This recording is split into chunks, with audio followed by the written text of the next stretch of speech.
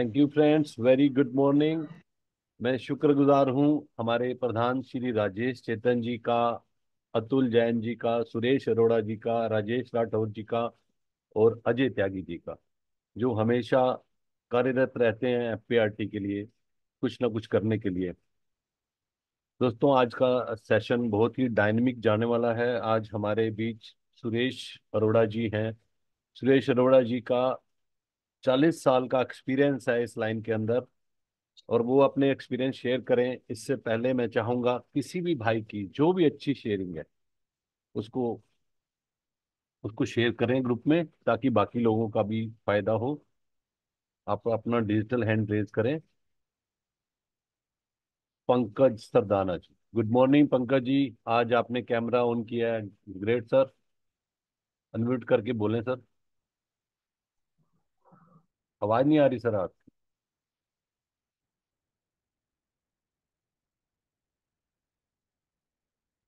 अगली शेयरिंग के लिए इसके बाद तैयार रहें पंकज जी के बाद लेंगे अगली शेयरिंग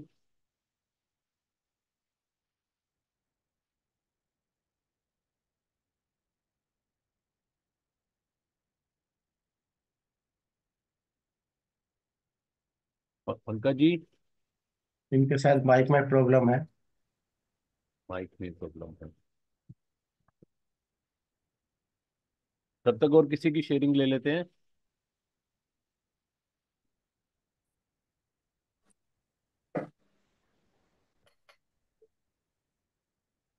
कमलेश मेहता जी, आप बोलना चाहेंगे कुछ? कमलेश जी।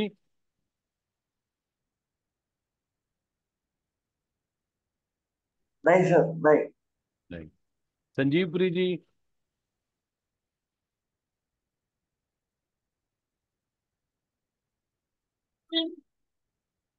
चलो, अगर किसी की शेयरिंग नहीं है तो हम आज के स्पीकर को इनवाइट करते हैं, अगर कोई शेयरिंग नहीं है। सुरेश अरोड़ा जी को सभी जानते हैं। सुरेश अरोड़ा जी एफपीआरटी के बोर्ड मेंबर हैं और एफपीआरटी के ट्रेजरर हैं और सुरेश अरोड़ा जी पहले एसबीआई बैंक में कार्यरत थे। वहाँ से इन्होंने वीआरएस लेके एलआईसी का अपना बिज़नेस शुरू किया और आज अरोड़ा जी को लगभग फोर्टी इयर्स हो गए हैं इस लाइन में एक्सपीरियंस तो अरोड़ा जी का चहेता सब्जेक्ट है फाइनेंशियल फ्रीडम फाइनेंशियल फ्रीडम उन्होंने इस टॉपिक को इसलिए चूज़ किया कि उन्होंने इस चीज़ को एक्सपीरियंस किया है। अब मैं चाहूँगा तालियों के साथ अरोड़ा जी को आमंत्रित करें। Arora ji now stage is your तालियों से वेलकम करें। डिजिटल हैंड अरोड़ा साहब वेलकम सर हाँ नमस्कार सभी भाइयों को नमस्कार सुनील जी अनिल अतुल जी एंड सभी साथियों को त्यागी जी और राठौर जी सभी बोर्ड मेंबर्स का बहुत बहुत शुक्रिया और सभी भाइयों को नमस्कार। भाइयों आज का समय आज हम फाइनेंशियल फ्रीडम पे फ्रीडम लीड्स टू पीस इस, इस इसके ऊपर कुछ हम चर्चा अपनी करेंगे। फाइनेंशियल फ्रीडम अब हमारा एक एक जस्ट एक मिनट। भाइयों मैं ना कंप्यूटर से भी ज़्यादा नहीं हूँ। कुछ अगर बीच में कुछ रुकावट आ जाए तो क्षमा कर देना। बाकी कोशिश कर रहा हूँ कि हो जाए। तो ए, दोस्तों फाइनेंशियल फ्रीडम हमारी अगर हमारे जीवन में रहती है तो रियल मायने में हम पीस का भी अनुभव कर सकते हैं। अगर फाइनेंशियल वरीज हमारे जीवन में आएँगी, ये हमने देखा गया है कि फाइनेंशियल वरी जो है ना, ये मेजर काज ऑफ़ डिप्रेशन है अमंग द पीपल अब आप वरी से मतलब चिंता, देखो दो तरह की, एक तो होती है चिता, एक होती है चिंता। सुनील जी, थोड़ा सा आपसे इंट्रक्शन करूँगा मैं। जी सर जी। हाँ। सुनील जी क्या है कि आप सभी ऑडियंस के ब्याह पे मैं आपसे बात करता हूँ। जी। ठीक। कि दो तरह की मतलब एक तो चिंता होती है एक होती है चिता। जी। दोनों जलाती है। दोनों जलाती है मेरे हिसाब से नए का फ़र्क है सिर्फ़। चिंता ज़्यादा का फ़र्क है। नए का नए का फ़र्क है। नए का फ़र्क है हाँ जी। जो चिता होती है ना वो मुर्दे को जलाती है। ग्रेट सर ग्रेट ग्रेट और जो चिंता होती है ना वो जिंदे को जलाती है। बहुत ही बढ़िया सर बहुत ही। क्योंकि आदमी घुट घुट के मरता है उसमें। फाइनेंशियल वरीज से बहुत मतलब हमारे जीवन में एक डिप्रेशन भी आता है। फाइनेंशियल स्ट्रेस जो है ना एक स्टडी है अमेरिकन साइंटिस्ट की वो क्या बोलती है फाइनेंशियल प्रॉब्लम अब मेरी स्क्रीन सबको दिखाई दे रही है। दिखाई दे रही है दिखाई दे रही है financial problem are major source of stress according to the study of American psychiatric association समाइम it may lead to diabetes heart disease migraine headache and poor sleep ये क्या सुनी थी? हम समाज में रहते हैं क्या इस तरह का एक्सपीरियंस करते हैं? जिनको चिंताएँ होती है वो चिंता में अपनी हार्ट डिज़ीज़ भी आ जाती है। कई बार सिर में दर्द में एक्सपीरियंस होता है। कई बार नींद भी नहीं आती उनको गोलियाँ लेनी पड़ती है। क्या ऐसा है? हाँ है तो सर ये बैक ऑफ़ द माइंड एक टेंशन तो रहती है सर हमेशा। हाँ। चाहे हम वो बोले ना बोले रहती तो है टेंशन ये। रहती तो है। हाँ। और दूसरा जो है ना low level of individual and household material asset significantly significantly related to depressive symptom अब हमारी अच्छा अब हम चिंता में रहेंगे तो हमारी इनकम का लेवल भी लो होगा। जी। और हमारे पास जब इनकम नहीं होगी तो हमारी एसेट कहाँ से क्रिएट हो जाएँगी? तो एसेट भी लो लेवल की रहेगी और फिर ये क्या काज करेंगे? हमें फिर और डिप्रेशन में डालेंगे। और ये भी ऑब्ज़र्व किया है, ये हिलीमो एंड गुरुंडी, ये दोनों साइंटिस्ट है अमेरिका के, इन्होंने ये भी ऑब्ज़र्व किया है कि that an increase in household assets was statistically related to decrease in the risk of depression symptom. अगर हमारी एसेट अच्छी है हमारी इनकम अच्छी है तो उसमें डिप्रेशन के सिम्टम बहुत कम रहते हैं। ये स्टडी है। हिलिमो and Grundy observe direct proportionate relationship between financial hardship and depression अब हमारी जो हार्डशिप है अब हार्डशिप कई तरह की होती है। तो और उससे जो आती है अब आ, मेरे को अगर मान लो पैसे की चिंता है शायद मैं परिवार में भी अच्छे रिलेशन ना रख पाऊँ। शायद समाज भी मेरे को इज़्ज़त ना करे, या क्योंकि मैं टाइम पे कमिटमेंट अपना पूरा नहीं कर पा रहा तो समाज में भी मेरी इज़्ज़त रिस्पेक्ट कम हो जाएगी। तो ये चीज़ें हैं जो हमारे लाइफ को बहुत बड़ा इफ़ेक्ट करती है। और ये फाइनेंशियल जो हमारी फ्रीडम है, ये हमारे जीवन के लिए एक बहुत वाइटल रोल प्ले करती है। और और इसीलिए ये फाइनेंस मीन्स क्या है? मनी इनडायरेक्टली हम लोकल अगर लैंग्वेज में बोले finance means money it plays a vital role in our life अब हमारे पास पीस रहेगी, हमारे को, और पीस रहेगी, हमारे पास फाइनेंस एक अच्छा एक फ्रीडम है तो हम अपने जीवन में जो चाहते हैं, जो हमारी ज़रूरत है जो हमारी जिम्मेदारियाँ हैं, वो अगर समय पे हमारी पूरी होती रहेंगी। क्योंकि एक मनी एक ऐसी चीज़ है it is a resources that help to fulfil our needs अब देखो ये रिसोर्सेज क्या है? ये कि भगवान ने नहीं दिया। ये मैन मेड रिसोर्सेज और इसके हेल्प से ही हमारी ये इतना मेजर रोल प्ले करता हमारे जीवन में कि इसके बिना हम ये सोचते हैं कि सर्वाइवल जो है ना, वो कठिन हो जाएगा। तो फाइनेंशियल फ्रीडम हमारी लाइफ में बहुत ज़रूरी है और इसके लिए हम मतलब ये प्रक्रिया ने किसी भी तरह से हम चाहते हैं कि इनको कई जो है ना अनएथिकल मीन से भी फाइनेंशियल फ्रीडम को क्रिएट करना चाहते हैं, पर हम उसके लिए एडवोकेट नहीं कर रहे। हम तो एथिकल मीन से हमारी फाइनेंशियल फ्रीडम बने, उसके लिए चाहते हैं। अब देखो, हमारे जीवन में हम है, हमारी फैमिली है। और ये समाज में खड़ी है तो इसके चार पिलर है, चार मेन मेन ज़रूरत है मेन रिक्वायर पिलर्स है। पहला पिलर है हैप्पीनेस कि हम और हमारी फैमिली खुश रहे। क्यों सुनील जी? बिल्कुल ठीक कह रहे हैं सर। है? बिल्कुल ठीक कह रहे हैं सर ये चार पिलर। और एक सेकंड जो है हमारी गुड हेल्थ। जी। हमारा हेल्थ जो है ना देखो हम तो हैं परंतु हमारी हेल्थ जो है ना वो हमारी व्हीकल है। अगर हमारी हेल्थ अच्छी रहेगी तो हम अपनी लाइफ को जी पाएँगे। एंजॉय कर पाएँगे। तो हमारी एक गुड हेल्थ भी होनी चाहिए। थर्ड है हमारा रिस्पेक्ट और रिस हमारे जीवन में हर इंसान की एक हिडन इच्छा है कि यार उसकी इज़्ज़त रहे।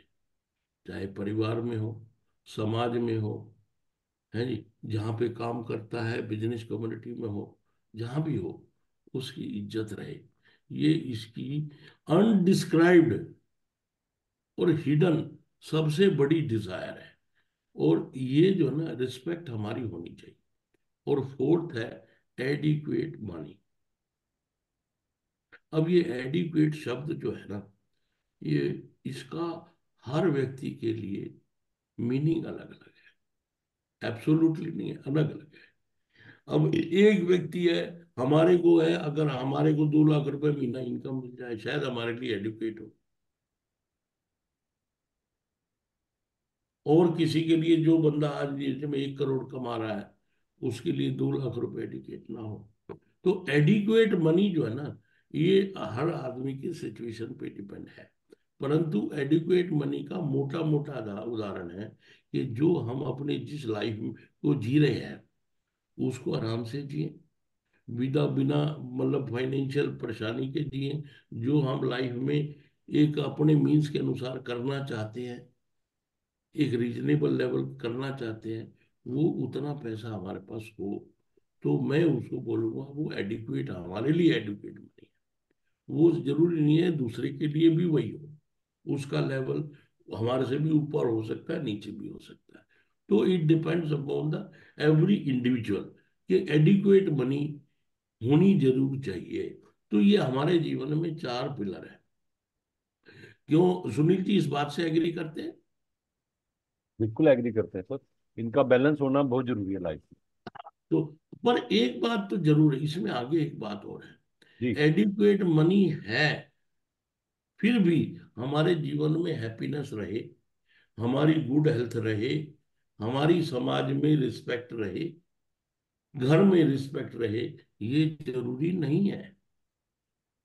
Money does not give any guarantee about these three things है lack of money lack of adequate money उससे ये तीनों चीज़ डिस्टर्ब होने की संभावना ज़्यादा है।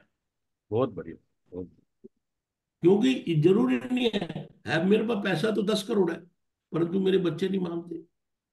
या मेरे बच्चे मेरी वाइफ रिस्पेक्ट नहीं करती मुझे, मेरी समाज में रिस्पेक्ट नहीं है तो हैप्पीनेस कहाँ से आएगी?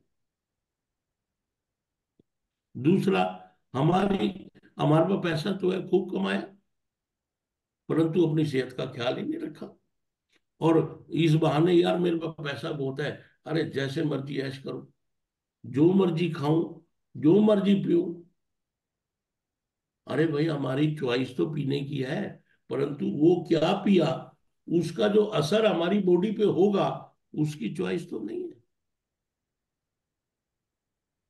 हम कमा कमा के शाम को पार्टी कर रहे हैं, रोज चार पैक पी रहे हैं या पाँच पैक पी रहे हैं, और जाके अच्छी पैक पी रहे हैं, और उसके साथ कुछ खा नहीं रहे, और अपनी सेहत को, हमारे शरीर में एक्सरसाइज नहीं कर रहे तो हमारी गुड हेल्थ कहाँ से रहेगी? वो अल्टीमेटली आज नहीं तो कल, नहीं तो दस साल बाद असर तो दिखाएगी शरीर में।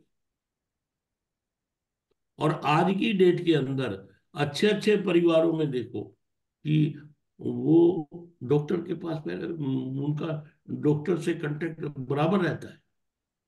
क्योंकि गुड हेल्थ नहीं है तो डॉक्टर के पास जाना पड़ेगा।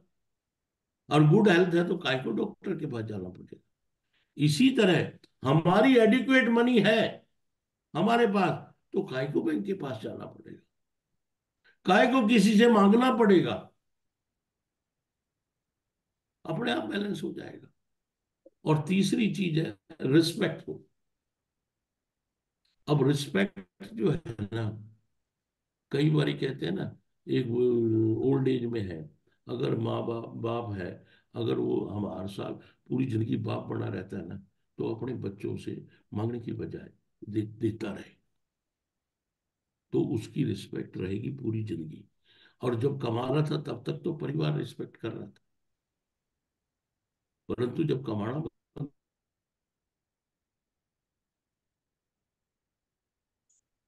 कर दिया हो सकता पर हो सकता हो जाए तो रिस्पेक्ट अब उसके बाद और समाज में रिस्पेक्ट चाहिए।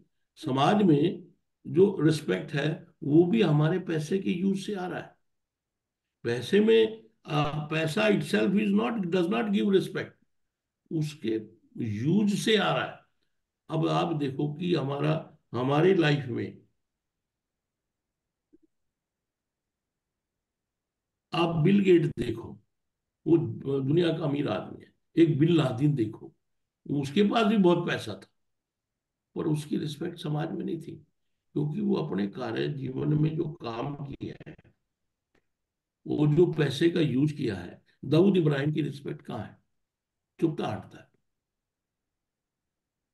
तो पैसे का यूज़ भी जो है ना, वो हमारे जीवन में रिस्पेक्ट दे सकता तो ये हमारी फैमिली इन चार पिलर्स पे खड़ी है। और अब आगे अगर हम देखते हैं कि हमारे को जो ये पैसा आ रहा है, कहाँ से आ रहा है? हमारे जीवन में पैसा कहाँ से आ रहा है? जो primary source of money is our earning capacity हमारी, हमारे जीवन में जो हम इस दुनिया में आए तो डेढ़ फुट के थे, डेढ़ किलो के थे, बोलना भी नहीं आता था। और हमने with the support of our parent हमने अपनी मेटाफिजिकल एनर्जी प्राप्त की, और वी स्टार्टेड अर्निंग तो जो हमारी अर्निंग कैपेसिटी है, वो हमारी प्राइमरी सोर्स ऑफ़ इनकम जो हमारी लाइफ में आती है और जिसके, जिसको यूज़ करके हम अपने को और अपनी फैमिली की लाइफ को की लिविंग और आगे जीवन को चलाते हैं। नेक्स्ट दूसरा जो सोर्स है, वो है एसेट्स हमारे जीवन में दो ही तरह से पैसा आता है। इनकम इनकम आती है जो हमारी, हम जो खुद कमाते हैं, चाहे हम बिज़नेस में हो, चाहे हम प्रोफेशन में हो चाहे हम फैक्ट्री ओनर हो, चाहे जॉब करते हो, हम अपने, पहले तो हमारा प्राइमरी सोर्स है कि जो हमारी मेटाफिजिकल एनर्जी और उस मेटाफिजिकल एनर्जी से हम जो है ना, पैसा कमा के कुछ बचत करते हैं और एसेट क्रिएट करते हैं। और आफ्टर जब एसेट क्रिएट होती है, उसके बाद एसेट में भी हमारी, हमारे को इनकम मिलती है। पर एसेट इटसेल्फ इनकम नहीं देती। जब तक हमारी मेटाफिजिकल एनर्जी उसके साथ अटैच नहीं होगी, तब तक एसेट इनकम नहीं देगी। अब मैं एक प्लाट लेके छोड़ देता हूँ, एक मकान लेके छोड़ देता हूँ, खड़ा है, दस साल खड़ा रहे, एक पैसे की इनकम नहीं आई। परंतु मैं उसके लिए एक किराएदार ढूंढूँगा। उस किराएदार बिल्डिंग का मेंटेनेंस करूँगा और उसके ऊपर उसके साथ साथ किराएदार को भी संभालना पड़ेगा।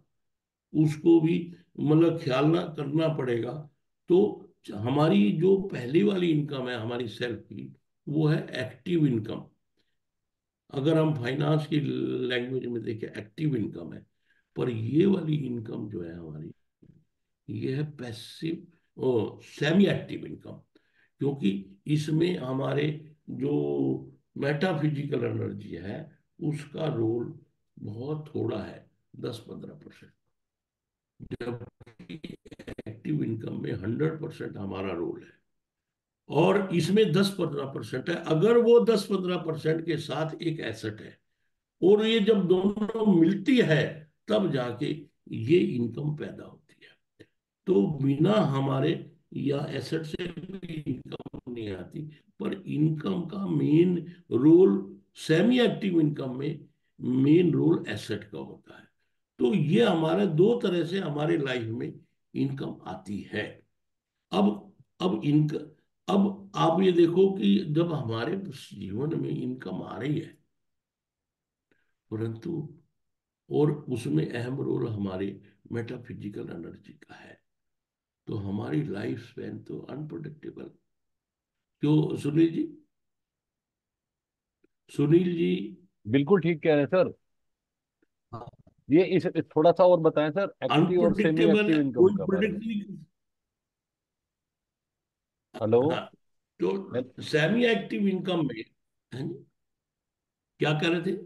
मैं कह रहा हूँ सेमी एक्टिव इनकम और एक्टिव इनकम के बारे में थोड़ा सा और प्रकाश डालें सर। देखो एक्टिव इनकम जो है ना हम अपने बॉडी माइंड एंड टाइम को यूज़ करके जी। ये भगवान ने तीन हमारे को रिसोर्सेज दिए हैं। हमारे पास से भगवान ने दिया है। जी। भगवान ने हमारे को शरीर दिया हार्डवेयर दिमाग दिया अब उसमें डाल के हम क्या आउटपुट ले रहे हैं वो हमारे ऊपर है। और उसके बाद टाइम भी सबको बराबर दिया। ये तीन रिसोर्सेज तो भगवान ने दिए और हम इन तीनों को यूज़ करके हम चौथा रिसोर्सेज पैदा कर रहे हैं। दैट इज़ मनी अब आप देखो, चाहे मैं बिज़नेस से ला रहा हूँ बिज़नेस में भी मुझे ये तीनों सोर्स यूज़ करने और मेरी जो सर्विस है जॉब करता हूँ, उसमें भी तीनों ये यूज़ होते हैं। और उसके, मैं प्रोफेशन प्रोफेशनल हूँ। तो उसमें भी उसको तीनों तीनों रिसोर्सेज का यूज़ करना पड़ेगा। ये तीनों रिसोर्सेज यूज़ कर, इस दुनिया में जिस बंदे ने भी वेल्थ क्रिएट की है the primary source of income और वेल्थ इज़ आपका metaphysical energy earning capacity self आप ये देखो, कई बंदे कहते हैं, यार, मेरे को, मैंने तो कुछ किया ही नहीं। मेरे को तो बाप दादा ने दस करोड़ दे दिया। अरे भाई बाप दादा ने भी तो एक समय में अपनी मेटाफिजिकल एनर्जी को यूज़ करके ही तो पैदा किया था। वो ठीक है you are lucky enough you that has been transfer pass on to you but main जो प्राइमरी सोर्स है हमारा, वो हम ही है। और डॉक्टर एडम स्मिथ ने भी ये बात को अपने वेल्थ ऑफ़ नेशन में लिखा है कि every person has property in his own labour it is so sacred it should be inviolably protected इसका प्रोटेक्शन होना बहुत ज़रूरी है। ये बहुत पवित्र एक एसेट है। देखो, इतना बड़ा जो अर्थशास्त्री है, पूरी दुनिया मानती है। उसने भी ये बात लिखी है। और सेकंड जो है ना इसके लिए जो हमारी मेटाफिजिकल एनर्जी है इसमें सर ये हिंदी में भी बता दो इन्होंने क्या बोला हिंदी में बोलना सर। एडम स्मिथ ने जो बोला है उसको एक बार हिंदी में भी बता दो। एक उसका मैडम जी ने ये बोला है लेबर अब ये लेबर हम जो labour every person has property in his own labour labour का मतलब क्या है? कि जो वो अपना समय, शरीर और टाइम लगा के जो भी काम कर रहा है, उसमें प्रॉपर्टी है, वो एक प्रॉपर्टी है। और ये इतनी ये इतनी पवित्र है कि इसको हर हालत में प्रोटेक्ट करना चाहिए। ये एडम स्मिथ का जी का रिस्पेक्टेड एडम स्मिथ जी का ये कहना था। तो इसलिए हमारी जो और हम सब जाए इस बात से विधि और वो आ, हमारे ग्रंथ भी बोलते हैं क्षण भंगुर जीवन की कलिका। न जाने प्रात खिले ना खिले। हमारे शास्त्र भी यही बोलते हैं कि हमारा जीवन क्षण भंगुर है। मैं एक बात कहता हूँ कि इस दुनिया के अंदर सबसे बड़ी जो एसेट है वो सुनील जी क्या है? हम इंसान ही है। We are the biggest asset in this earth woman asset is the biggest asset in this earth but the biggest point minus point is it can destroy within moment एक चुटकी में गया। कोविड के अंदर हमने ये चीज़ सामने, ये चीज़ें देखी है। अरे यार, अभी तो ठीक था, वो गया। क्यों सुनील जी? बिल्कुल आपने आभास किया ऐसा? किया है सर किया है बिल्कुल। लेकिन सर लोग अक्सर एक बात बोलते हैं चिंता ताकि कीजिए जे अनहोनी होए फिर फिर क्या करें सर इसमें? नहीं अनहोनी तो मैं आगे उसका जवाब आपको मिलेगा। ठीक। अवर अच्छा नेक्स्ट में आता है our future is also unpredictable जो हमारी लाइफ है ही अनप्रडिक्टेबल है। तो हमारा फ्यूचर कैसे? होगा वो भी तो अनसर्टेन ही होगा। वो भी अनप्रडिक्टेबल होगा। अब देखो यहाँ ये यह आपकी उस बात का जवाब है कि our life run on probability and estimates अब जो आप कह रहे हो कि चिंता ताकि कीजिए चिंता काय की करनी है? हमारी लाइफ तो प्रोबेबिलिटी है। अब आप बताओ सुनील जी अगले 25 साल में आपके साथ क्या होने वाला है? अगले पच्चीस साल में क्या होने वाला है? अगर हम सोचें हाँ। तो बुढ़ापा आने वाला है अगर सोचें तो। और अच्छा। सारी हाँ और पैसे की ज़रूरत पड़ने वाली है। हम्म। डिपेंडेंट होंगे या इंडिपेंडेंट होंगे ये सब चीज़ें दिख रही हैं। और जो अनप्रडिक्टेबल है वो कभी भी हो सकता है मौत कभी भी आ अच्छा। सकती है। बहुत बढ़िया। मैं सोचता हूँ कि दो ही चीज़ होंगी हमारे जीवन में। या तो ज़िंदा रहेंगे या नहीं रहेंगे। Great sir great. बहुत बढ़िया। या तो रहेंगे या नहीं रहेंगे दो ही चीज़ होनी है। जी। ये प्रोबेबिलिटी है।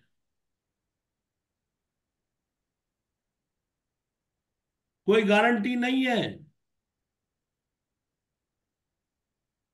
और ये आप ग्राफ देखिए आपको ग्राफ दिखाई दे रहा है ये? दिखाई दे रहा है सर। अब इसमें देखिए एक साइड में लेफ़्ट साइड में 25 से शुरू है पिचासी तक। राइट साइड में 25 से शुरू है पिचासी तक। ये 25 से लेके वैसे तो ये ग्राफ ज़ीरो से शुरू होना चाहिए। ये जिस दिन इस धरती पे आ गए ये दोनों चीज़ें हमारी प्रोबेबिलिटी शुरू हो गई। प्रोबेबिलिटी ऑफ़ लिविंग लॉन्ग और प्रोबेबिलिटी ऑफ़ डेथ क्या छह महीने का बच्चे की डेथ नहीं होती क्या? होती है सर। छह साल वाले की भी होती है? क्यों जी? बहुत बढ़िया सेशन ले रहे हैं सर। ग्रेट सर सोलह साल वाले की भी होती है छब्बीस साल वाले की भी होती है छत्तीस वाले की भी होती है और छियासठ वाले की भी होती है और छिहत्तर वाले की भी होती है और छियासी वाले की भी होती है। क्यों जी? जी। सुनील जी क्या हाँ दो छह महीने वाला बच्चा ज़िंदा नहीं रहता? रहता है सर। छह साल वाला? वो भी रहता है। छह सोलह साल वाला? सोलह साल वाला भी रहता है सर। छब्बीस साल वाला? छब्बीस साल वाला भी रहता है। छियासठ साल वाला? छियासठ वाला भी रहता है?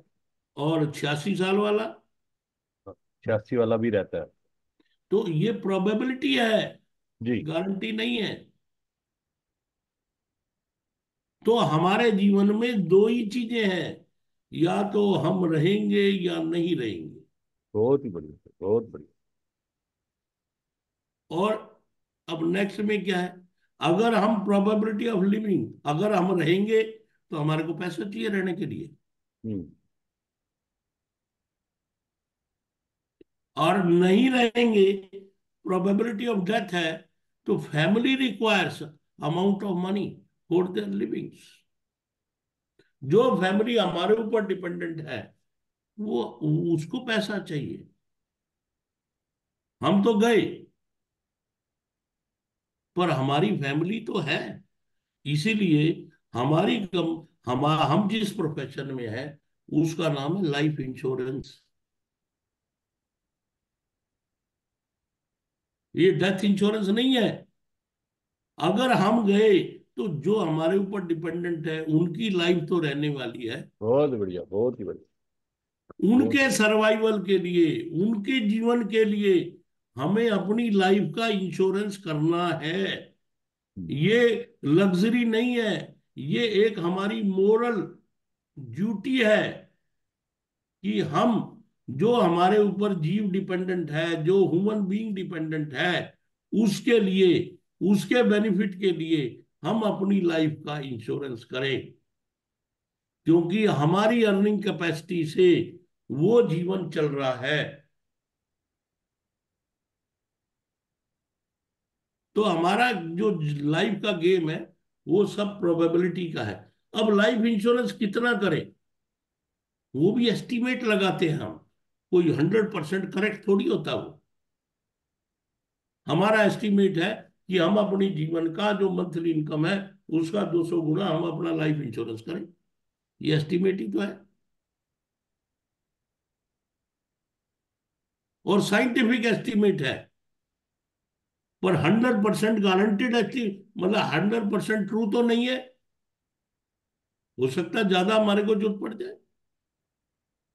हम मेडिक्लेम करते हैं तो किस कितना एक, एक एस्टिमेट ही तो है। जो फ्यूचर में कितनी ज़रूरत पड़ जाए क्या पता कितनी ज़रूरत पड़ जाए। तो ठीक है अनुज सुनील जी? बिल्कुल ठीक है सर बिल्कुल ठीक। अच्छा अब ये तो हुआ प्रोबेबिलिटी का गेम अब हमारी जो लाइफ में जो इनकम है इनकम का फ्लो है, वो इंपॉर्टेंट है। अब वो हमारी लाइफ में जो फ्लो आता है, वो भी इंपैक्ट तो होता है हमारे जीवन में, क्योंकि अनसर्टेनिटी है। वो दो इवेंट से इंपैक्ट होता है। एक तो प्रोडक्टेबल इवेंट हमारे जीवन में है, एक अनप्रोडक्टेबल है। और ये इवेंट्स हमारे फ्यूचर में हमारे फाइनेंस फाइनेंस की रिक्वायरमेंट हम फाइनेंस पे इम्पैक्ट फाइनेंस की रिक्वायरमेंट को एक, एक की हमारे को दरकार होती है कि हम हमारे लाइफ में क्या होगा।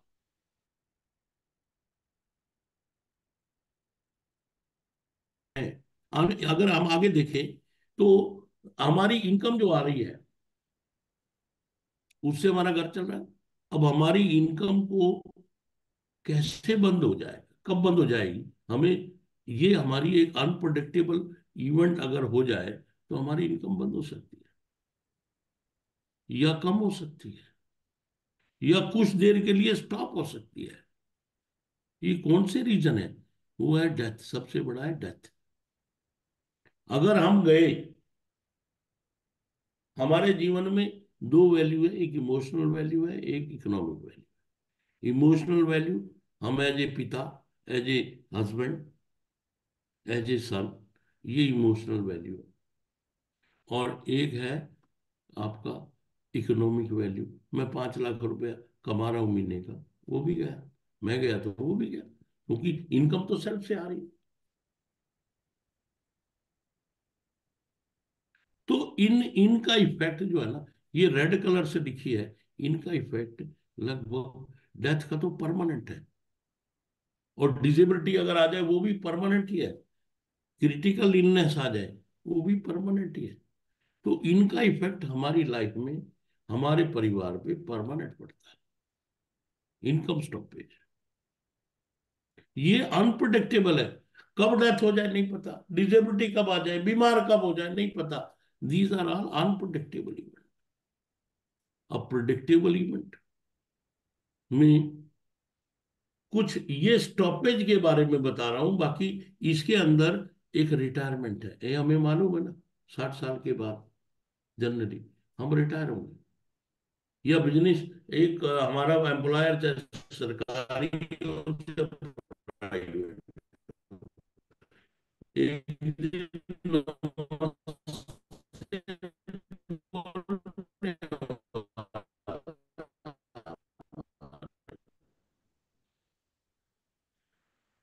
साठ साल की एज में बोलने वाला है।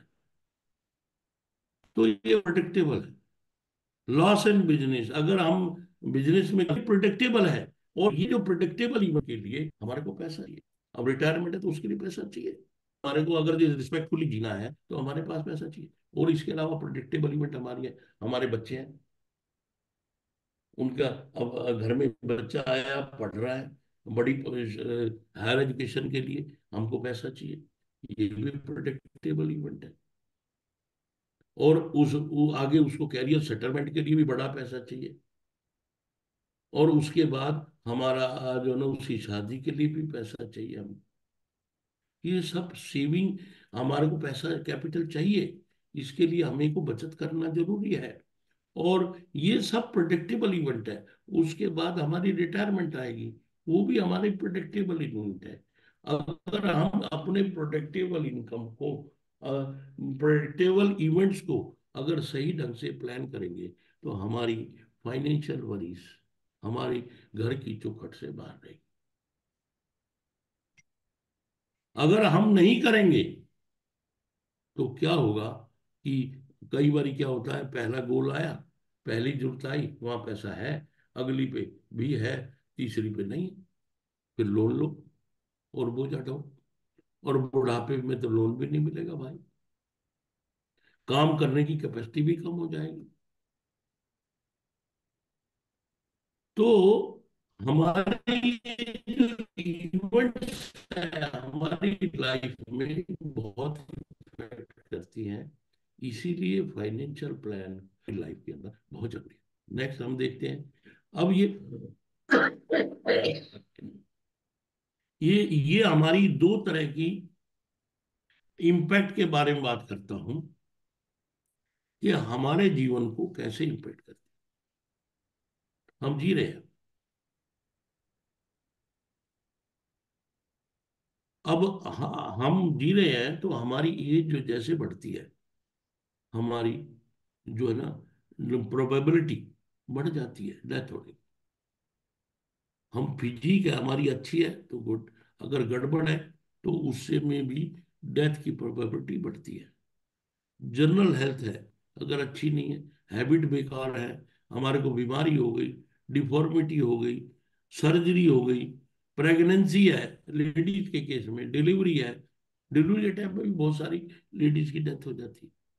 फैमिली हिस्ट्री है, हमारी, भाई, पूरे परिवार में डायबिटिक है। फैमिली हिस्ट्री है। यह जल्दी डेथ हो जाती है। और आ, ये ऑक्यूपेशन है। मैं कुछ हज़ार डोज ऑक्यूपेशन कर रहा हूँ। या मैं सीरिया में रहता हूँ डो, डोमिसाइल।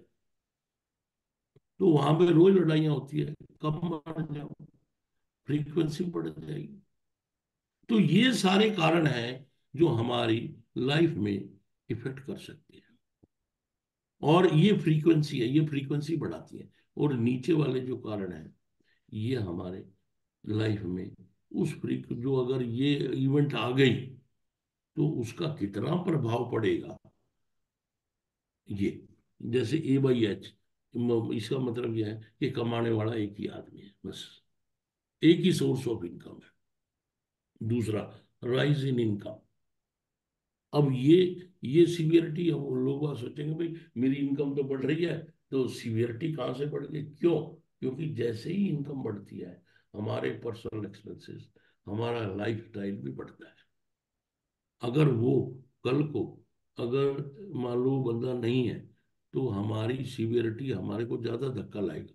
जो बंदा पांचवी मंजिल पे है ना, अगर उसको तीसरी मंजिल पे आना पड़े या ग्राउंड पे आना पड़े, वो तो ग्राउंड पे आ जाएगा, पर मर जाएगा वर्चुअली मर जाएगा। अब हम अपने जीवन में मैं अपने आपको बताऊँ कि 1975 में मैं पचास गज के मकान में रहता और हमने पढ़ाई अपने जीवन में मोमबत्ती पे की लालटन पे की है। आज हमारे को वो लालटन मिल जाए पचास गज का जीवन मिल जाए तो हमारा तो मतलब ऐसे ही हो गया। क्यों सुनील जी? बिल्कुल ठीक कह रहे हैं सर। सुनील जी? जी है? जी बिल्कुल हमारी एस्पिरेशन है।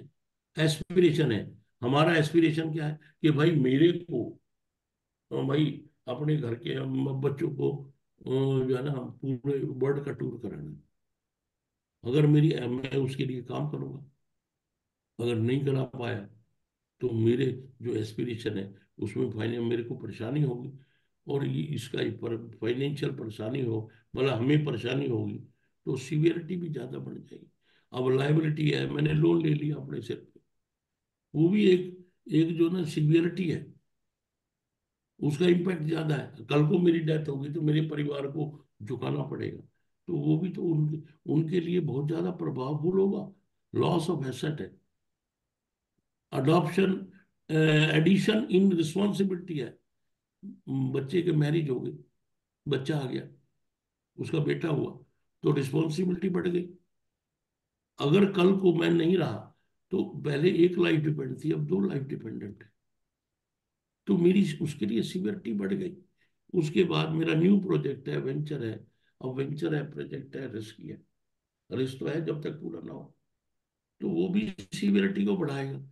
और environment and legal environment and legal को चेंज आती है उसमें। यह सोसाइटियल कमिटमेंट मैंने सोसाइटी के लिए कमिटमेंट कर रखा है कि भाई मैं गौशाला में हर महीने दस हज़ार रुपये दूँगा। अगर नहीं दूँगा मैं तो मेरी समाज, मेरी सिवियरिटी मेरे परिवार को देना पड़ेगा। तो ये ऐसे कारण हैं जो हमारी जो इवेंट है लाइफ में जो ऐसी इवेंट है, ये हमारी लाइफ में हमारे परिवार को इफ़ेक्ट करती है, हमारी इनकम को इफ़ेक्ट करती है। ज़्यादा हैवी तो नहीं हो रहा सुनील जी? नहीं नहीं बहुत बढ़िया सर तो आप सिचुएशन में लेके जा रहे हैं ना तो अच्छा लग रहा है सर। हम फील हम्म। कर पा रहे हैं सब चीज़ें। अब हमारे ये तो देखो हमारे जीवन में हमारे को पैसा किस लिए चाहिए? कि हमारी जो प्रोडिक्टेबल जो प्रोडिक्टेबल इवेंट है उसके लिए हमारे बच्चे की पढ़ाई के लिए जो ऑन गोइंग हमारी रिस्पॉन्सिबिलिटी है जो हम इनकम से पूरा करते हैं उसके लिए पैसा चाहिए। प्लस जो हमारी रिस्पॉन्सि मेजर रिस्पॉन्सिबिलिटी है, जैसे बच्चों की हायर एजुकेशन है, उनको कैरियर सेटलमेंट करना है, उनकी शादी करनी है, वो भी रिस्पॉन्सिबिलिटी है। अब वो रिस्पॉन्सिबिलिटी तो ओवर हो गई। उसके बाद एक महम रिस्पॉन्सिबिलिटी है जो खुद के लिए। और जिस पत्नी ने हमारे जीवन को सुकून दिया, बच्चों को पाला, हमको पाला हमारी जीवन में शांति बनाए रखी उसके प्रति है। क्योंकि हमें अपनी लाइफ को, अब देखो, ज़ीरो से पच्चीस तक हम अपने लिए जिए। कि भाई, हम डॉक्टर बड़े इंजीनियर बड़े बिज़नेस क्या वो करें, और उसके बाद पच्चीस से लेके साठ तक हम बच्चों के लिए जिए। बच्चों को पढ़ाए, लिखाए परिवार चलाए, अपने माता पिता की वो सेवा करें उनको देखें जिए उसके बाद क्यों बेटा?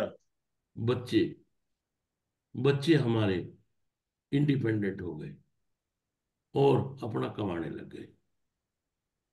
अब हमारा जीवन अब हमारा जीवन जो है ना अब बच्चे हमारे इंडिपेंडेंट हो गए तो हमारी ज़िम्मेदारी मेन ज़िम्मेदारी first round of major responsibility हमारी पूरी हो गई।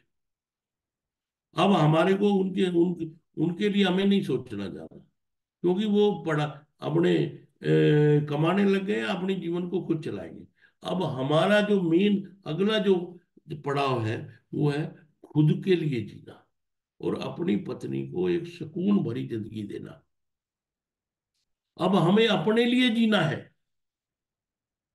अब हमारे बच्चे कमाने लग गए अगर हमने जब हमारी ड्यूटीज़ बच्चों के लिए हमने जो निभाई है, परिवार के लिए जो उनको एक्सपेंसिस किए हैं, बच्चों की हायर एजुकेशन के लिए जो एक्सपेंसिस किए हैं, उनकी शादी के लिए किए हैं, उसी पीरियड के दौरान हमें कुछ अमाउंट चाहे वो दस परसेंट हो अपनी इनकम का या बीस परसेंट हो, वो अपने लिए भी रखना चाहिए। ताकि जब हमारे बच्चे इंडिपेंडेंट हो जाएँगे तो हम पचपन साठ साल के हो जाएँगे। और हमारी अर्निंग कैपेसिटी भी डाउन हो जाएगी, और हमारे को कहीं से लोन भी नहीं मिलेगा कि भाई हम जो ना अपने रिटायरमेंट के लिए इनकम पैदा करें। और कैपेसिटी टू एडजस्टमेंट करने की भी खत्म हो जाएगी। तो उस समय हमारे पास एक अपने को जीने के लिए एडिक्वेट अमाउंट ऑफ़ मनी होना चाहिए। और उसकी तैयारी हमें शुरू से करनी चाहिए। जब बच्चों के लिए कर रहे हैं तो अपने लिए भी तैयारी शुरू से करनी चाहिए। क्योंकि बच्चे हमारे 25 साल तक हमारी लाइफ पे, हमारी इनकम पे आधारित है, परंतु हम अपनी इनकम पर जब तक जीवन चलेगा, तब तक आधारित है। हम सोचते हैं, बच्चों को कर दे यार, हम बच्चे अपने आप केयर करेंगे। बच्चे, हमारा हक है, वो हमारा हम उनको बोल सकते हैं कि भाई, हमारा, हमने बेटा तुमको पाला, तुम हमको पालो। हमारे खराब भी नहीं है बच्चे। ऐसा नहीं है कि नहीं, खराब है। हमारे बच्चे भी अच्छे हैं बट उनकी देखो, उनकी जो है ना लाइफ में जो लाइफ स्टाइल है, वो हमारे से कहीं आगे है। मैं आपको एक एग्जांपल देता हूँ। मैं अपने जीवन में, जब मैं पढ़ा तो नौ पैसे वाले स्कूल में पढ़ा। जब मेरा बेटा स्कूल में गया तो नौ सौ रुपये महीना था। अब मेरा पोता जा रहा है तो सोलह हज़ार रुपये महीना है। आप देखो इन बच्चों के ऊपर कितना खर्चा है। अगर अपना बोझ भी हम इन बच्चों के ऊपर डाल देंगे तो कई बार हमें लगेगा या और वो जो हमारा बेटा होगा वो सोचेगा, अब पापा की ज़रूरत पड़ा करूँ या मैं बच्चे के लिए करूँ? तो उसको कॉम्प्रोमाइज करना पड़ेगा। अगर हम अपने लिए प्रोविज़न क्रिएट करते हैं इनडायरेक्टली हम अपने बच्चों की लाइफ को जॉयफुल बना रहे हैं। हम उनकी मदद कर रहे हैं कि तुम भी अपनी अच्छी ज़िंदगी जियो और हमारी पर आपको फाइनेंशियली बर्डन हम आपका, हमारा जो है ना उनके ऊपर नहीं है। तो उसके लिए ये हमारी जीवन की मेन रिक्वायरमेंट है।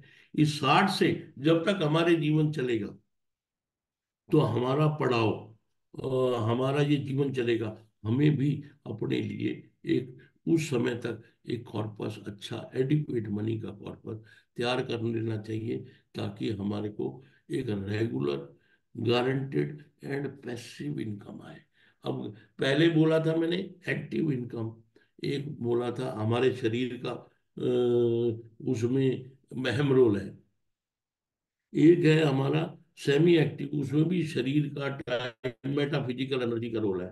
परंतु रिटायरमेंट के लिए, जब हमारी सेल्फ की इनकम डाउनफॉल पे होगी या नहीं रहेगी, तब हमारे पास एक एसेट ऐसी होनी चाहिए, जो हमें हमें रेगुलर इनकम दे।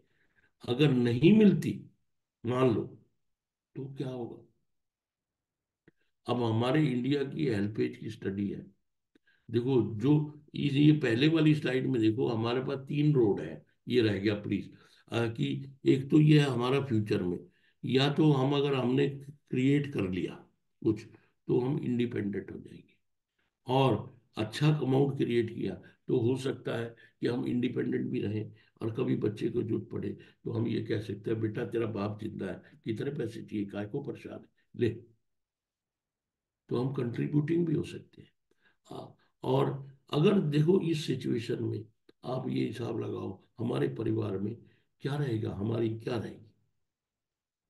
बच्चे फिर भी हमारी इज़्ज़त करेंगे रिस्पेक्ट करेंगे, क्योंकि हम उनके बर्डन नहीं है और हम टाइम टाइम सपोर्ट कर रहे हैं। वो चीज़ आज की डेट में है। I am enjoying it in my life I am sixty six year old I am enjoying it और सेकेंड रोड जो हमारा है, अगर हम अपने इस रिटायरमेंट की प्लानिंग को, इस गोल को नहीं करते तो हम क्या करेंगे? हमारे पास कोई भी आउट नहीं है, सिर्फ़ बच्चों को कहेंगे, बच्चों की सपोर्ट से हमारा लाइफ चलेगी। अब जब सपोर्ट करेंगे, वो उनकी सिचुएशन क्या होगी? मन से करेंगे या मजबूरी से करेंगे? वो हर एक आदमी को उस समय जब सिचुएशन फेस होती है, तब पता लगता है। पर अनसर्टेनिटी तो आ गई।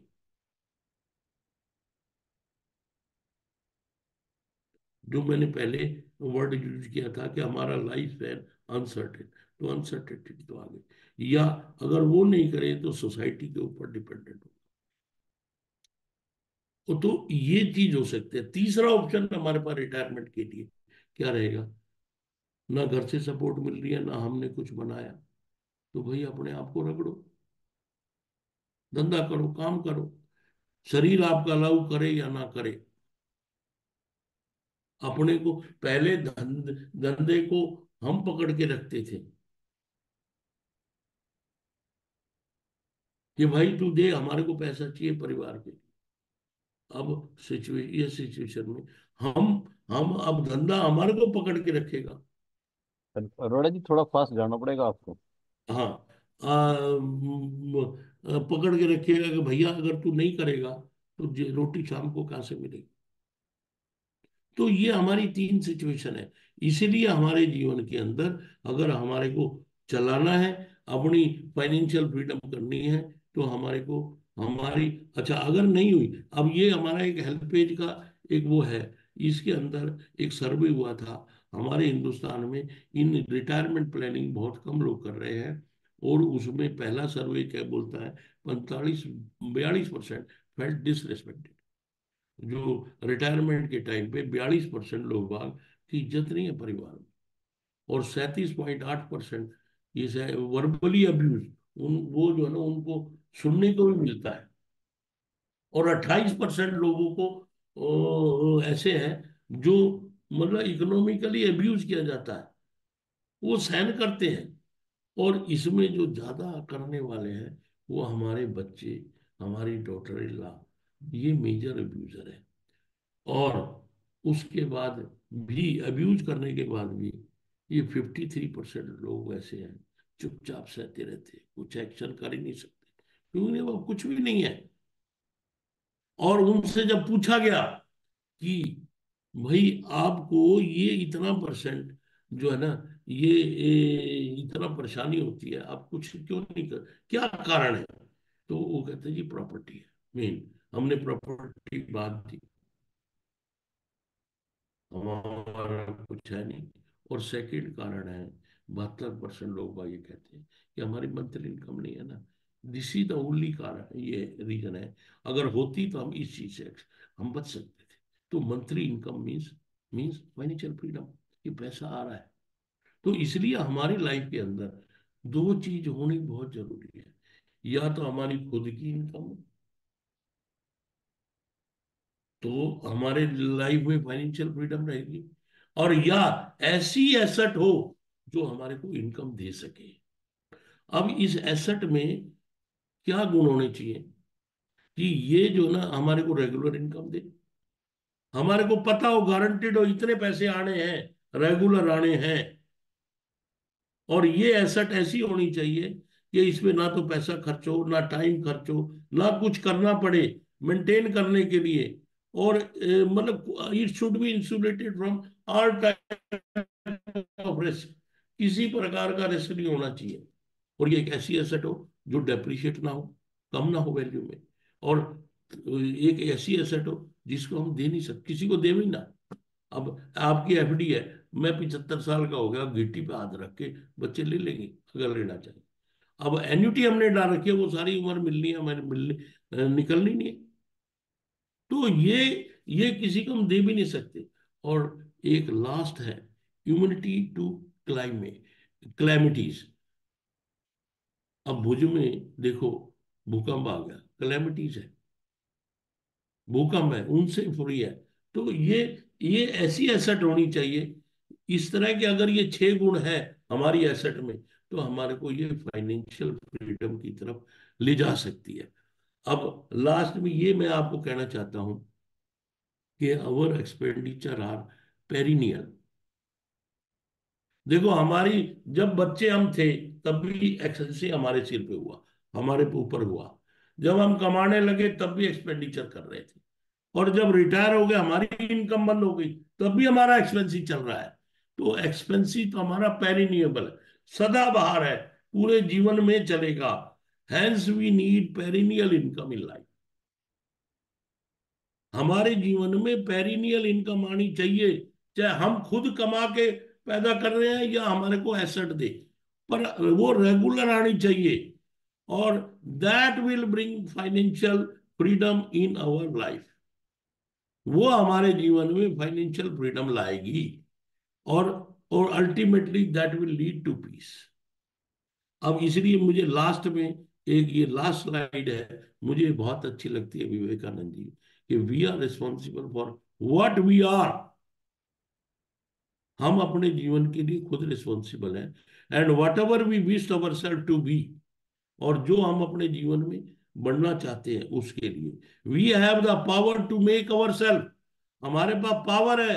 हम अपने आप को अपनी ज़िंदगी को बढ़ा सकते हैं, बिगाड़ भी सकते हैं बढ़ा भी सकते हैं। If what we are are has been the result of our own past action, हमारी जो जिस मुकाम पे आज खड़े हैं, हम अपने पुराने जो हमने काम किए हैं, उसकी वजह से हम यहाँ हैं।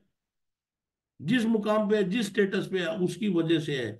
It certainly follow that whatever we wish to be अब हम अपने जीवन में इन फ्यूचर में क्या करना चाहते हैं? In future can be produce by our present action आज हमारा निर्णय है तो उससे हम अपने फ्यूचर को बना सकते हैं।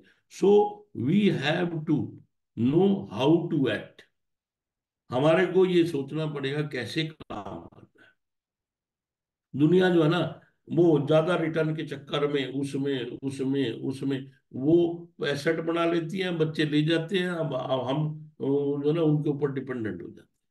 तो हमारे को, हमारा डिसीज़न हमारी ज़िंदगी को अच्छा कर सकता है, हमारा ज़िंदगी को खराब कर सकता है, हमारी ज़िंदगी में फाइनेंशियल फ्रीडम ला सकता है। ये हम ही है, हम ब्रह्मस्मि, मैं ही ब्रह्म हूँ मैं ही अपनी अपने जीवन का निर्माता हूँ और मैं ही अपने जीवन का डिस्ट्रॉयर हूँ। It depend all depends upon one oneself thank you very much कुछ गलती हो गई हो तो मेरे को माफ़ करना। मेरे पास जो मैं आपके सामने शेयर कर सकता था वो मैंने किया। बहुत बढ़िया। Excellent session sir excellent great sir great अभी मैं पाँच मिनट बाद में सबको अनम्यूट करूँगा। इससे पहले हमारे बीच लियाफी के नेशनल प्रेसिडेंट रणवीर शर्मा जी हैं। उनकी अभी हाल ही में सेंट्रल ऑफ़िस में मीटिंग हुई है।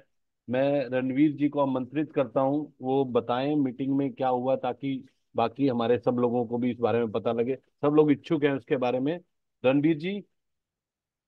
रणवीर शर्मा जी? अनम्यूट कर लीजिए सर अपने आप को। Ranveer ji unmute please. Ji sir. Welcome sir. Thank you sir good morning everybody सभी को बहुत बहुत सुप्रभात और नमस्कार। धन्यवाद, डेंग साहब। मैं तो बड़े उनको सुन रहा था, अरोड़ा जी को।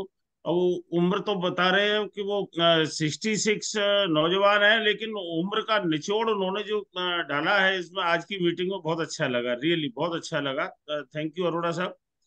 आपने जीवन के पूरे उसको जो है आज हम लोगों के समक्ष रखा है। मैं धन्यवाद देता हूँ। डेंग साहब अभी हम लोगों की एक जो कंसल्टेटिव कमेटी या इंफॉर्मेशन शेयरिंग कमेटी मीटिंग एक मैनेजमेंट के साथ रेगुलर होती है। अभी जो हुई थी तो हमने एजेंडा उनको दिया हुआ था मैनेजमेंट को। कुछ ऐसे इश्यूज़ थे कि जिनको लेके जो है अभिकर्ता जगत में कुछ कंफ्यूजन बना हुआ था तो उसको भी हमने मैनेजमेंट के साथ वार्ता की। क्योंकि अभी भी जो है कुछ आईआरडीए से रिलेटेड जो इश्यूज़ हैं, चाहे वो बीमा सुगम हो, बीमा विस्तार हो, वाहक हो उसको लेके अभी कंफ्यूजन लोगों में है। और मैनेजमेंट का क्या उसमें उनका अपना रवैया है या क्या दृष्टिकोण है, हमने जानना चाहा था। तो ज़्यादा स्पष्ट तो मैनेजमेंट भी नहीं कर पाया था, लेकिन सुगम तो आ ही रहा है।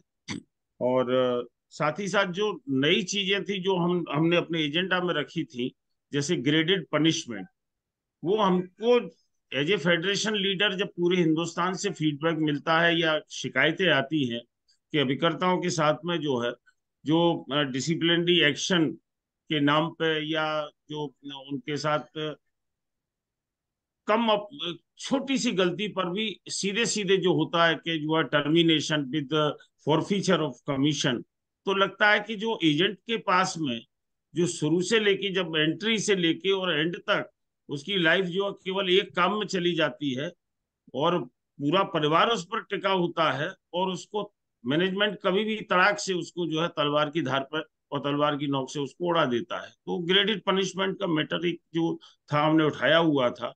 वो गवर्नमेंट को गया हुआ था। गवर्नमेंट ने ये कह के भेज दिया कि ये मैनेजमेंट का इश्यू है, इसको मैनेजमेंट ही जो है, वो एक्ट यद्यपि वो रेगुलेशन एक्ट में है, लेकिन उनका इसको मैनेजमेंट अपने लेवल पर करेगा। तो मैनेजमेंट इस बात पर तैयार हुआ है और इसमें कुछ ज़रूर सकारात्मक कदम मैनेजमेंट उठाएगा। एक ग्रुप इंश्योरेंस का, बहुत सब जगह से ये आती है कि भाई ग्रुप इंश्योरेंस जो है हमारा, जो एज है सिक्सटी नाइन वो आगे जो है बढ़नी चाहिए। और ये कोई एज नहीं है। अब हम लोग भी जो है उसको पूरा करने जा रहे हैं तो उसके बाद क्या होगा? तो ग्रुप इंश्योरेंस के हालाँकि वो थर्ड पार्टी और नेक्स्ट इंश्योरर के उस पर रहता है लेकिन जो है वो मैनेजमेंट ने कहा कि ठीक है हम इस पर जो है एक अलग से फिर से एक्सरसाइज करते हैं। कुछ उसमें कॉस्ट बढ़ सकती है या जो है कुछ अमाउंट की कमी हो सकती है ये सारी चीज़ें लेकिन वो करेंगे कुछ ना कुछ। आ, तीसरी बात एक बहुत बड़ी बात थी, जो हमारे क्लब मेंबर्स हैं। तो जो क्लब मेंबर, अब कोई 85 का हो गया 80 का हो गया, मोर देन 70 का हो गया, और वर्किंग कैपेसिटी उतनी रही रहती है, और जो नॉमिनल क्राइटेरिया है उसका, वो क्राइटेरिया अगर फुलफिल नहीं कर कर पा रहा है तो उसके फ्रिंज बेनिफिट सारे चले जाते हैं। वो ठीक है, अगर उसकी एज उसने अगर लाइफ मेंबरशिप ले ली है तो उसको ये एक तमगा तो मिला रहेगा कि वो सब वो मेंबर है, लेकिन उसको बेनिफिट तो कोई नहीं मिल रहे मॉनिटरिंग बेनिफिट हमने कहा, ये तो गलत बात है। उसको ये करना चाहिए कि उस समय अगर कोई सपोज़ कोई सीएम क्लब मेंबर है और उसका जो उसकी इन्फोर्स पॉलिसी या रिन्यूअल कमीशन उसके जेडएम क्लब मेंबर का है तो नेक्स्ट क्लब की उसकी मॉनिटरिंग बेनिफिट्स उसको मिलने चाहिए।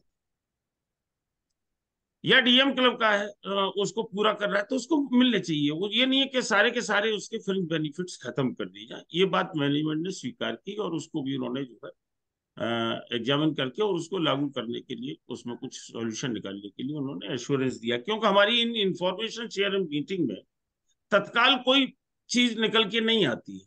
एक प्लॉटिंग होती है, तैयार करते हैं, मानस तैयार करते हैं मैनेजमेंट का लड़ाई झगड़ा करते हैं परसुएंस करते हैं, तब धीमे धीमे कोई भी जैसे हमारी ग्रेचुटी अब ये डिमांड तो हमारी दस साल से हो रही थी और गवर्नमेंट को दस साल से गया हुआ था, लेकिन अब आके पूरी हुई, जब लगे रहे लगे रहे लगे रहे, लगना पड़ता है सब इसमें। आपको बता इसी तरह अंडर राइटिंग प्रोसीज को लेके जो है टर्म इंश्योरेंस की अंडर राइटिंग को लेके लोगों की हमारे पास जो है फीडबैक था कि साहब वो जो है कंप्यूटेशन ऑफ़ इनकम को उसमें वो शामिल नहीं करते। पच्चीस साल की उसमें अगर कोई नया लड़का है, उसको जो है उसकी तीन साल के रिटर्न मांगते हैं उसके। तो ये इस तरह की फीडबैक थी तो उसको भी लेके हमने उसको रखा। एक बच्चों के लिए और दिव्यांगों के लिए प्लान जो है इंट्रोड्यूस करने। एक मैंने स्पेशली जीवन ये बीमा लाभ, ये बच्चों के लिए पॉलिसी के लिए कन्वर्ट करने के लिए मैंने कहा कि इसका हम बहुत अच्छा लाभ ले सकते हैं। अगर दो साल के बच्चे को इसमें एंट्री एज दे दी जाए, इसकी एज शायद मैं समझता हूँ आठ साल या बारह साल है सब?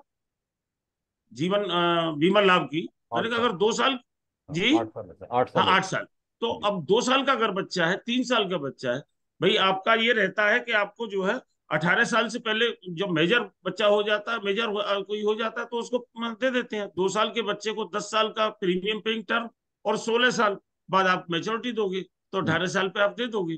तो मैंने कि इसको अगर आप कन्वर्ट कर दोगे तो लोगों का एक सेगमेंट ऐसा है जो छोटे बच्चों को जो है हायर एजुकेशन के लिए अठारह साल से या उन्नीस साल से उसको पैसा चाहिए होता है तो ये एक्चुअली जो उन्होंने बुलाया तो एक्चुअली नोट किया और सेक्रेटरी मार्केटिंग ने नोट किया और इसको जो है, इसके ऊपर जो है कुछ करने का।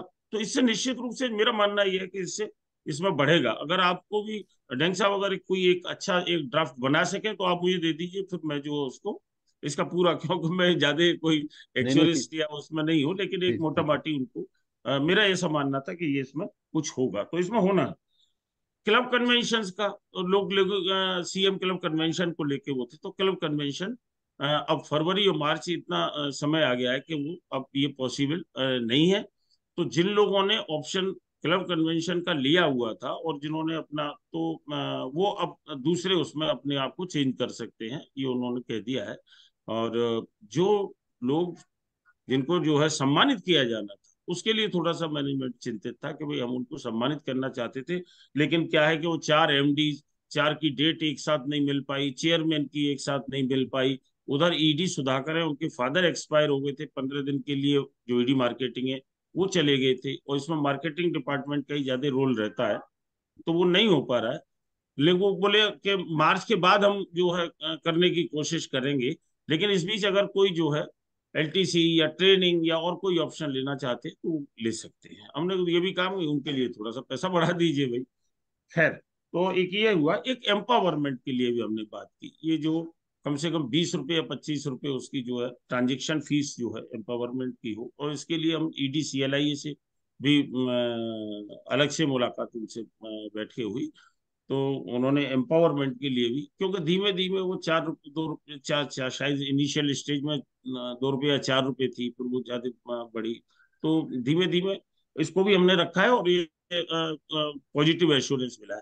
अब आपको बताऊँ कि जो मैनेजमेंट ने हमसे कहा ईडी मार्केटिंग ने, हमारे फ्यूचर के लिए, उन्होंने कहा कि एक तो जो है, ये एक मोबाइल ऐप ला रहे हैं, और वो ला रहे हैं उसका सेल्स प्रोसीजर को जो है डेवलप करने के लिए केवल एजेंट का ऐप और इन्होंने एक कोई कंसल्टेंट रखा है, वो कंसल्टेंट के सुपरविजन में होगा।